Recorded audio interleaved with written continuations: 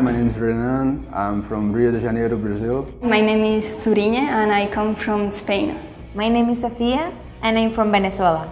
The school is located in the center of Philadelphia. It's a nice place because it's surrounded by restaurants, museums. Public transportation is really easy to get around. It's a very accessible city. Feels like a small town even though we're the fifth largest city in the US.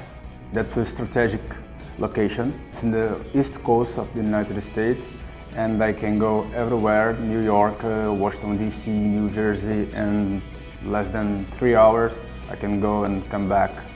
There are lots of things to do. For example, I already went to the Arts Museum. I climbed the rocky steps. It was very exciting to go there and feel like I was in a movie. Philadelphia is the city of brotherly love, and so everybody knows the iconic love symbol. Now that it's summer, something really fun that students can do is go to Spruce Street Harbor Park, is right along the Delaware River. It has beautiful views of the city's bridges, and there are so many things to do there, like hammocks, games, they can hang out. It's really fun. We offer many different course types at Kaplan Philadelphia. You can take vacation English, general, or intensive. In addition to our English courses, we have several test preparation courses to choose from, like TOEFL, GMAT, and GRE for international students. We have 17 classrooms. They all have smart boards where students can interact as they learn. There's a giant computer lab on the fourth floor where students can independently do their work or sometimes they work on class projects. Every single day, there's something new going on. For example, today we're going to have a geography bee.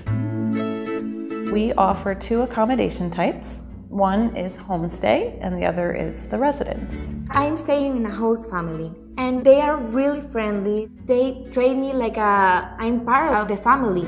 Our residence is located quite close to our school. It's a very easy subway ride and students have a private room and private bathroom and they share with one other student a living space where they can share meals together if they like and just have conversation. When I came here to Kaplan, my English wasn't really good and now I'm ready for college and for the universities.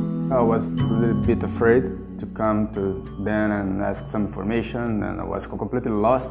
Then I started uh, my studies at Kaplan and after 10 weeks I can go anywhere. I like Philly and I can't think of the day that I have to leave this place. They are like a small family and if you really want to improve your English, you have to come to Kaplan.